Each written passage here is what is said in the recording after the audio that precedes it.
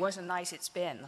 For me, it's been a trip down memory lane. Firstly, all my classmates here, and then that good old fashioned 1970s feminism. I haven't heard it for a long time.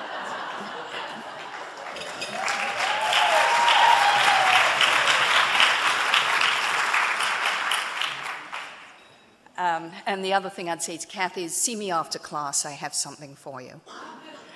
Um, so, uh, when Brooke sent me an email asking me to be the keynote speaker tonight, I immediately sent an email back to her saying, Oh my gosh, am I interesting enough? And as soon as I hit the send button, I thought, what a girly thing to do. that is so insane. And luckily, Brooke said, yes, I was interesting enough, so here I am this evening. Um, but, you know, at any time you can hook me off the podium, that's okay.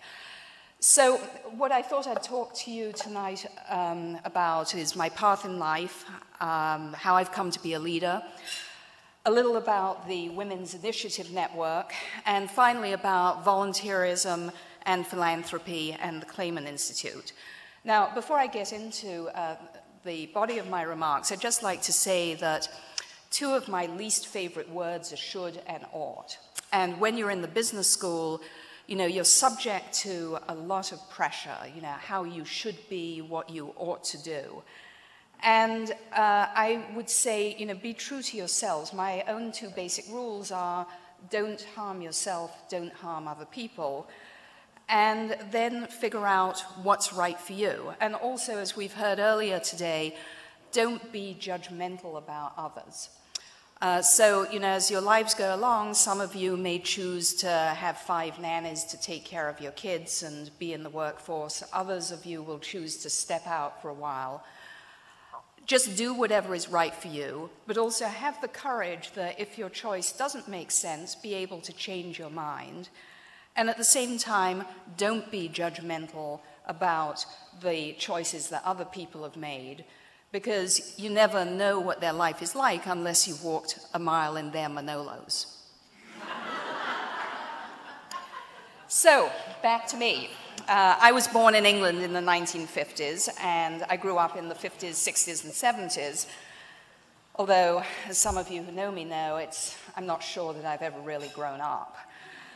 Um, so women like Myra Strober and Joanne Martin really paved the way for me because if it hadn't been for brave women like them, I couldn't have had the life that I've had.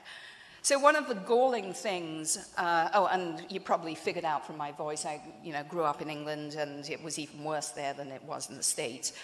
Um, but one of the very galling things was that sometimes, you know, I'd ask, why not? And the answer would be, because you're a girl. And it would just infuriate me.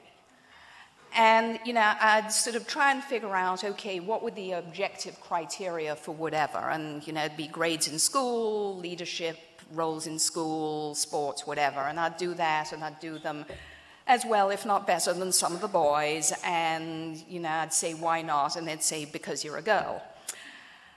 Um, now, my mother gave me a wonderful piece of advice, which I would pass on to you, and that was say yes and do what you want.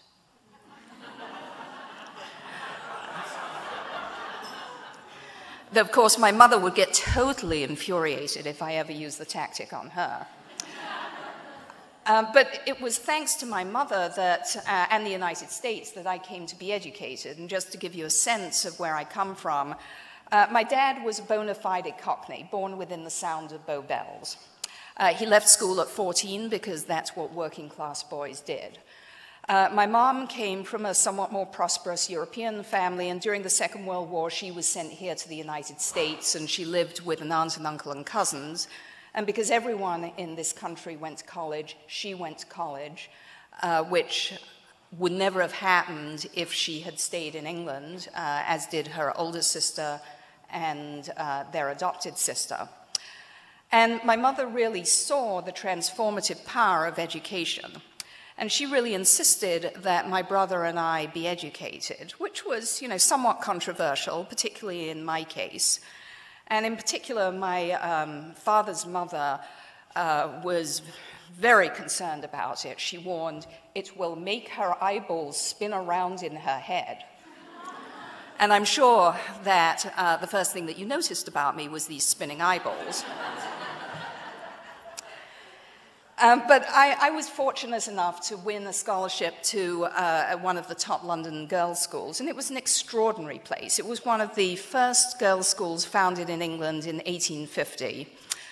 And uh, one of the things that was amazing about it was that, you know, being a good English school, we'd have prayers every morning, and then there'd be assembly, and the headmistress would tell us stirring tales about old girls you know, and they were being flying doctors in Australia, or they were nursing the sick in Africa, or they were on the stage at the National Theatre. So you got the idea that it was incumbent upon all of us to really lead worthy lives. And the school had a very rich history because uh, many of the girls from the old girls from the late 19th century, early 20th century were part of the suffragette move movement that got women the vote. You know, and you think about women paving the way, the suffragette movement took 50 years. And I look at this country at people like uh, Susan B. Anthony and Elizabeth Cady Stanton, and I thought, those gals really had staying power. You know, we have nothing to complain about. Uh, so, you know, the school was one of those places that sent a very high percentage of girls to university for the time and a lot to Oxford and Cambridge. And when I was 15, my history teacher came over to me and said, okay, Michelle, well, she didn't say okay, because she wouldn't have said that, you know, back then. Uh, she said, Michelle, you are going to go to Oxford and you will read either history or PPE, that's philosophy, politics, and economics, which um, I did end up reading. And I said to her, Yes, Miss Weaver. And sure enough, a few years later, there I was at Oxford uh, reading PPE. So when I was at Oxford, uh, well, when I was in school and then at Oxford, my main interest was journalism. And you know, I loved working on magazines and papers. And at university, I also got involved with drama. But I also became intrigued with the idea of going into banking because the UK at the time was going through this dire financial crisis. And you'd turn on the news and there'd be all this discussion. And I didn't understand what was going on, and I thought it would be really interesting to try and figure it all out. Now, in those days, business was seen as very déclassé in England, uh, and there was enormous pressure, particularly for girls or women, uh, to go into either teaching or the civil service. Now, I knew that I wasn't interested in teaching, but I saw on the bulletin board in college there was a thing for internships in the civil service, so I signed up for that and they sent me to the Ministry of Defense, and it was simply dreadful. And I thought, okay, that's it for civil service. Um, so then I became interested in business, and uh, we had a neighbor whose family was in the city. Uh, so the city is what you call Wall Street in England. And I, I, chatted with him, and he said, You know, Michelle, even though you've got an Oxford degree, the, the British banks really aren't going to be interested in you. Go to an American bank, uh, they really won't care that you're a woman, and uh, they will train you much better. So I thought, okay, whatever. Uh, except we didn't say whatever in those days. but I said the 20th century version of whatever. Uh, so I interviewed with Bank of America, and I, I, uh, they invited me down to London, and they offered me a job on the spot, and I thought, oh, that was easy. Um, and, but it was also pretty interesting because some of their female employees had sued them in a class action suit in San Francisco. I see some nodding heads. So I'm sure I was an okay kid. Um, but probably, you know, seeing an Oxford-educated woman, woman, interested in banking, they, that was why they welcomed me with open arms. So, you know, it really ticks me off. Sometimes you meet women who say, oh, the women's movement did nothing for me. You have to look back in history and see that there were plenty of people who did do stuff for you. Uh, but it was interesting, the night before I was due to start work, you know, my dear old dad said to me, you know, Michelle, I can't understand why anyone would employ you and pay you good money. And I said, Well, why not, Dad? And he said, Well, because you're a girl. So I spent two very happy years at Bank of America, and you all probably would just laugh at the job that I had. Uh, what I did was I spread statements by hand.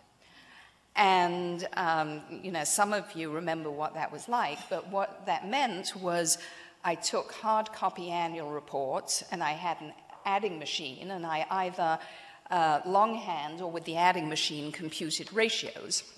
And I also wrote up credit reports. Uh, and I just thought the job was thrilling. I thought it was great. And um, I really hadn't thought about an MBA, but uh, I was one of only two bachelor's students in the uh, MBA training program. And the other one was a Cambridge educated guy, and he and his friends were always talking about business school. And saying, oh, whatever, or the 20th century equivalent of whatever. Um, and, uh, but what happened was a couple of the VPs for whom I worked uh, took me aside one day and they said, You're, you're a clever girl, you should really uh, think of applying to business school. And I did what I now advise young people not to do. I um, applied last minute in round three. Not a good strategy. Uh, go round one or go round two. Uh, and they sent me a postcard saying, well, we got your staff, you know, don't call us, we'll call you, and it, will take you, take at least six weeks. And then the following day, I got a telegram saying you've been accepted. So it's like, oh, that was easy.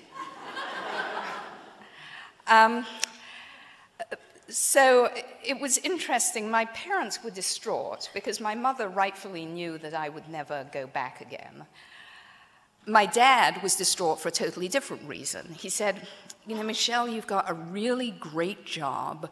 Please don't give it up. You may never get another job.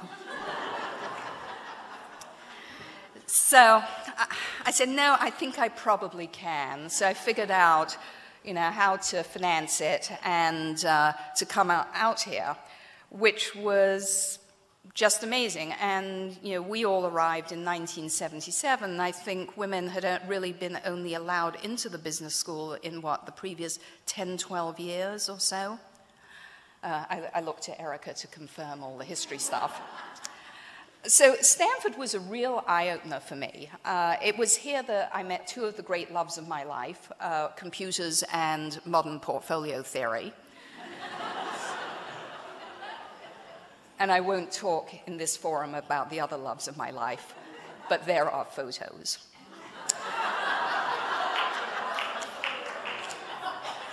and Luann has them.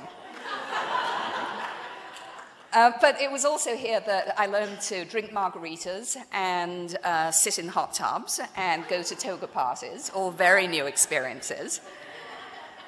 And it was the age of Animal House, but it was also the age of disco and uh, the age of Saturday Night Fever.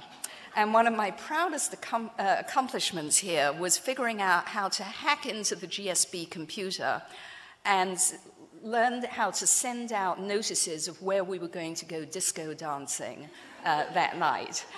And I'd like to acknowledge uh, two of my fellow disco queens who are sitting at this table, Luann Winchell and Esther Koch.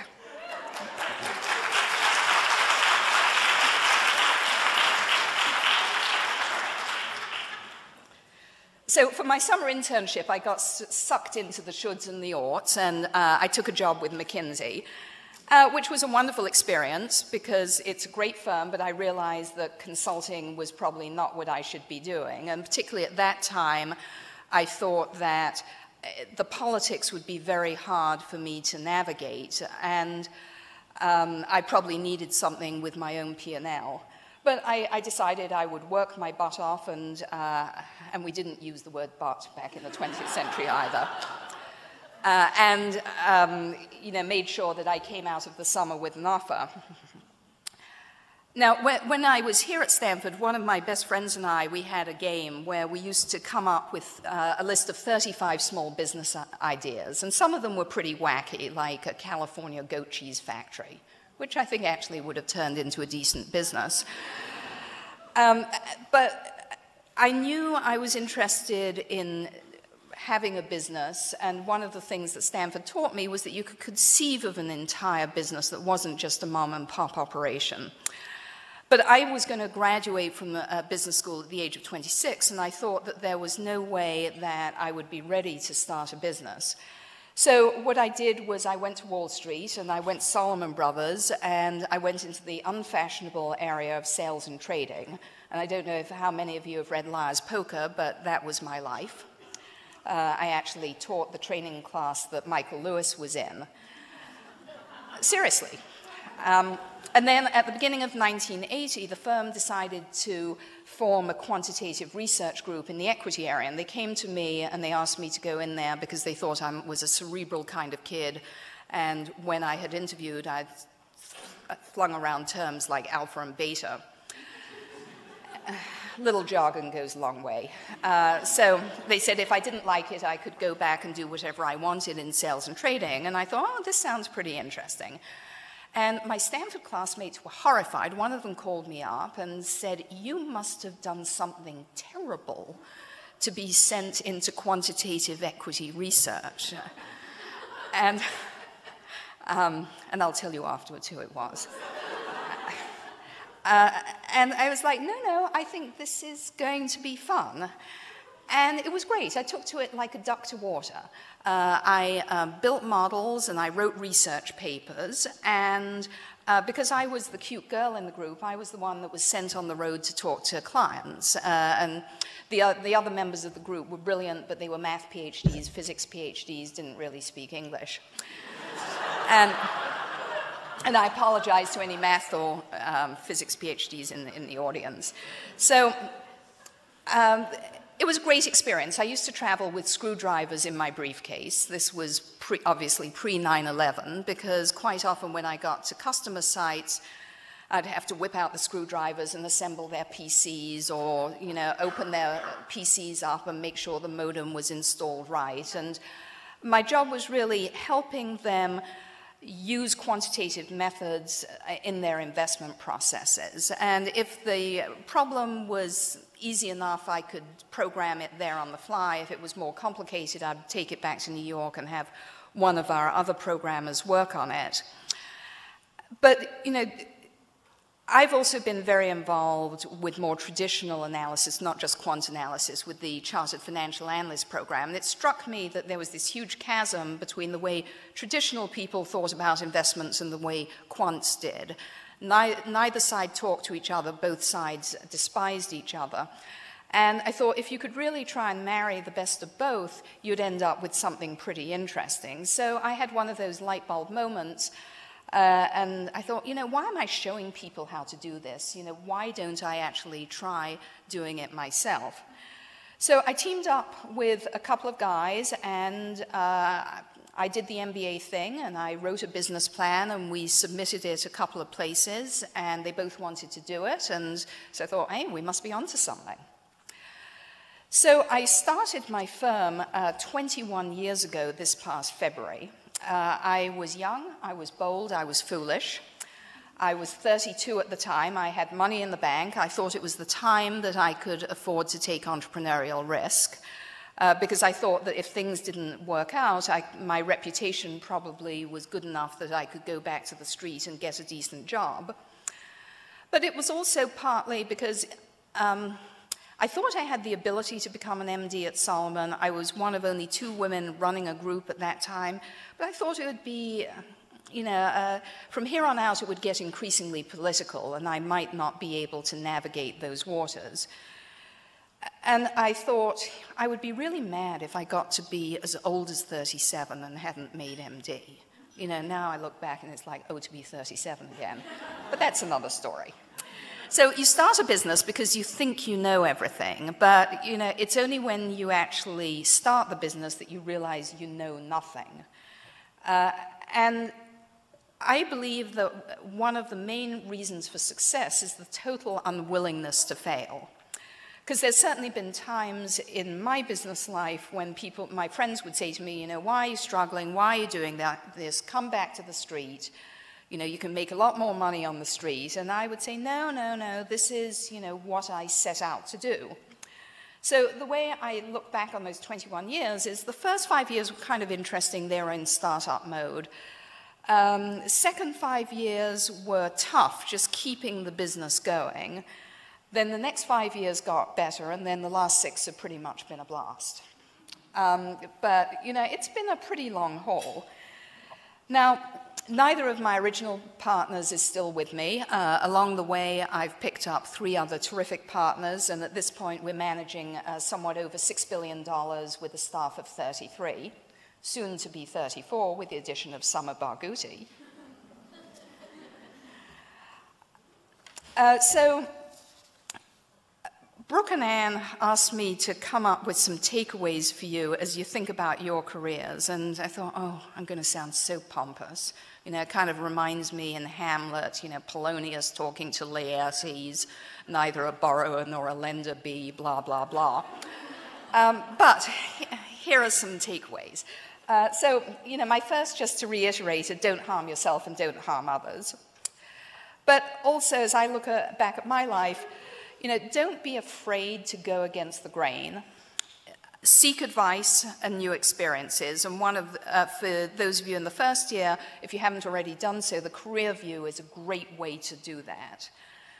Uh, in my life, I've felt it's been important to have a belt and suspenders approach to qualifications so that no one uh, can ever answer your why not question with the fact that you're unqualified. Though, of course, in England, suspenders are garters, so what I'd say to you is wear a belt and a garter belt. Um, be part of the solution, not of the problem. It's totally okay to come up with ideas for change, but make sure that you're seen as a team player rather than a, a perpetual whiner. And remember, things can take an awfully long time. You know, it's very easy when you're young to have ants in your pants, um, but you've got to take the long view. Another thing, help others. Do it because it's the right thing. But what you'll find is that when you help others, you will be um, repaid threefold. And equally, help don't haze junior people coming up. I, I, remember particularly when I was on the street, you know, people would often say, well, you know, I'm giving him a hard time because people gave me a hard time. You know, you don't need to do that. Uh, cut your friends some slack. Don't be too judgmental. Lead by example. You know, don't expect your troops to be in at 7 in the morning if you're going to roll in at 10. That just doesn't cut it. Have a life. Um, you know, work isn't 24 7. Now, another thing that I've found helpful is when you get mad, do a self check. Make sure that you're not being an ass. You know, it's very easy to get self-righteous. Um, so, you know, before you lose it, pause for a second. And then enjoy yourself uh, because unfortunately, bad stuff comes down in everyone's life and you have no idea what it's going to be. But it's not worth worrying about it. You know, I think all you can do is hope that when it happens in your own life that you will have the mental and moral fortitude to deal with it. So now quickly, what I'd like to do is shift topics to what we're trying to do with the Women's Initiative Network that uh, is called WIN. And uh, the genesis for me goes back three years to our 25th reunion, and there was a women's tea with a discussion moderated by Myra Strober. And it was pretty interesting because, as Brooke mentioned, there were 68 women in our class, and I think close to 50 showed up for this tea party. And it was pretty amazing because uh, the discussion spiraled out of control, and it was clear that there were some very unhappy women in the room. And some women were unhappy that, at the toll that child raising had taken on their career. And then there were other women who were very unhappy. They said, Well, I did everything that I thought I was supposed to do, and I still got shafted. And then there was a third group that was like, why are you all complaining? You know, life is hard, careers are hard, you know, get a grip. So, what happened was one of our classmates, Susan Harmon, came out and she said, Well, we really think we need to continue this conversation. And she collared Linda Bialecki, and Linda Bialecki collared Donna Hall, and Donna Hall said, Well, if you want to get stuff done, we'd better get Michelle. Um, so we started uh, talking about, you know, the issues. We widened our group. Uh, we included academics, including Myra by speakerphone. We uh, included organizations such as Catalyst, the National Council for Research on Women, the Ms. Foundation, and dare I say it, we even included friends of ours who'd gone to other business schools uh, to try and figure out what should be done. And at the same time, uh, Sharon Marine, who's over there in the development office, to whom you should send all of your checks, um, she was getting letters or talk, having conversations with alums who were concerned about women's issues. Dean Joss was getting letters. And uh, so I decided to leverage my position on the advisory council to talk to the dean and faculty about it. And I have been talking to David Kreps, and I have been running up and down in faculty offices. Uh, and because I thought, you know, why on earth should I be on the AC and not, you know, leverage my position to uh, really address things that are important to me. And uh, Sharon put uh, me in touch with Mary Clark, who's another advisory council member, and we became the leadership of this group. So WIN is trying to help the GSB and its uh, female students and alums in a number of ways. Uh, admissions, student life, uh, case and curriculum, and alumni support. So admissions, what we're trying to do is three things. One is increase the yield of uh, the admits, the women who've been accepted, increase the number of women who think about applying to business schools because law schools and med uh, medical schools are now 50 50, but um, men and women, but nationwide business schools are still only about 25% women. Uh, and then obviously we want to establish Stanford as the brand of choice. Now, in student life, um, we believe, as we've been hearing tonight, that there are things that both men and women need to be thinking about, you know, particularly women. So, um, you know, marriage, kids, you know, God forbid, divorce, um, elder care, uh, whatever. Uh, so that you can think about these things before you're actually faced with them in your career. Now, in case and curriculum, we're trying to do a number of things. One is to make sure that we have good business cases that feature women protagonists. Also, get more speakers into the classroom. The school does a great job with views from the top, but uh, we understand that there are relatively few women guest speakers coming into regular classes. Uh, and then in alumni support, you know, we want to make sure that we're developing program that useful to women and men as they go through their lives. And our classmate Erica Richter, who's here in Lifelong Learning, has put, so far put on three great programs for us this year, and we hope um, that that uh, will continue. Uh, now, you may have seen the women's website is up and running, and we're trying to figure out you know, other ways that alumni can support each other. So, for instance, um, trying to put new mothers in touch or new parents in touch with um, older alums who've gone through that so they can talk through the whole work life challenge things. What's amazing about WIN is that we now have some 50 committee members. Our committee members range from the class of 06 um, right up to people who, who graduated in the 60s, and I've just recruited my first 07. Congratulations, Brooke. Um, and in New York, uh, you know, what's very been a lot of fun for me is that I've been working with women from the class of 05, and it's provided a very powerful message to the admits that they can see that someone, you know, from like 79 is actually friends and working with someone from 05. Um, so it's really a very powerful network. And I would encourage any of you in the room who'd like to become involved with it to come and talk to me, talk to Erica, uh, or shoot Erica an email, and you can find out more. So, Brooke also asked me to talk a little about the Clayman Institute here on campus. One of the bees in my bonnet is that women really need to step up in philanthropy. So please don't withhold your dollars, write the checks. Uh, and I think Sharon would say, write them Stanford. Um, so, um, you know, we, I think it's particularly important now that women are being successful. You know, in my view, serious people do serious things. Now, I don't want us all to turn into harumphing bores, uh, which is quite easy to do, but we really need to step up with leadership roles and responsibilities and talk with our checkbooks. So the Institute is the entity that Myra founded back in 72 as CROW, the Center for Research on Women, uh, because Stanford at the time had no entity really addressing women's needs.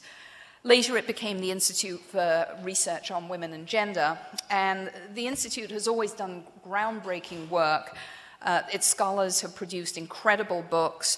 It's provided various supports, moral, financial, for generations of grad students. Um, but a few years ago, in the early 2000s, the Institute was in an existential bind, and we were without a director, and we were also kind of floating around in the university. So I describe us as being a little like the appendix in the body. You know, no one quite knew why we were there, but when we flared up, we were very troublesome. Um, so and uh, one of the issues that concerned me was that the Institute lived by what I called fundraising by bake sale, uh, and really living hand to mouth. But then a wonderful set of things happened. One was uh, the late Barbara Finberg, who endowed the directorship, engineered the shift of the Institute into, the uh, into humanities and sciences, where we came under the wing of Sharon Long, who was very supportive of the Institute. And uh, faculty member Barbara Gelpi uh, stepped in to become our interim director, and she was able to get permission to do an external search for the next director. And that's how we got Londa Schiebinger. And um, then the development office, after years of discouragement, finally greenlighted uh, the, an endowment drive because I'd always been saying we've got to put ourselves on solid footing. So I was offered the naming opportunity, and um, you know, another really girly thing. I said, You can have the money, you don't need to name it for little old me. Uh, so Londa Schiebinger took me out to dinner, sat me down, set me straight. And, you know, she basically said, okay, uh, if there's a named institute, the university ca cannot take it away, or at least it's a lot harder to do that. Secondly, for academics, and this I had no clue about, apparently it's a lot more prestigious to have a named position than any old position. And then the third thing was as a signaling thing that you probably notice relatively few women's names around campus um, that Londa thought it was important that a self-made independent woman, you know, step up and do this. So even though I was very concerned that the Almighty would strike me down for my overweening pride, um, I thought, okay, you know, I will go for it, and so far so good, though if a thunderbolt happens at the end of the evening, you know what happened. Um, so uh, the Institute does a number of things. One of our big studies at the moment is on dual career couples in academia. And there, the issue is that uh, many women academics are married or partnered with other academics. So, to shift jobs, you have to really tend, you have to shift two people. And as you may be relieved to hear, you know, women will not in general abandon their husband and their children to move across country for a job. Um, but we really need to think about this, particularly for women, if we want to get more women in senior uh, positions. Uh, we um, also have our um, graduate dissertation fellowships where we're supporting uh, young graduate students coming up. Uh, we have speakers on campus. Uh, last night, Baroness Deech was talking about bioethics, stem cell research.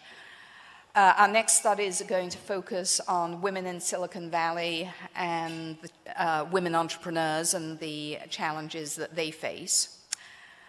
And, you know, in an ideal world, you shouldn't have to have institutions devoted either to issues of gender uh, or issues of ethnicity. Uh, but you may be shocked to find out I think the world isn't perfect yet. Uh, and so, you know, until that time, I'm more than happy to fund cutting edge research so that, you know, other little girls, when they ask why not, they're not told, oh, it's because you're a girl. So I thank you for inviting me here tonight. Uh, I'm very delighted to see so many men in the audience, um, and I hope we'll see you again next year. And, you know, one of the things that's just so inspiring to me as a crotchety old biddy is to see, you know, young people like you who are so committed to leadership and business, and, you know, I'm confident that you will pave the way for others. So I thank Brooke and Huma and Anne for inviting me tonight. It's been wonderful to work with you, and I'm really looking forward to working with Leela and Kate next year. Thank you.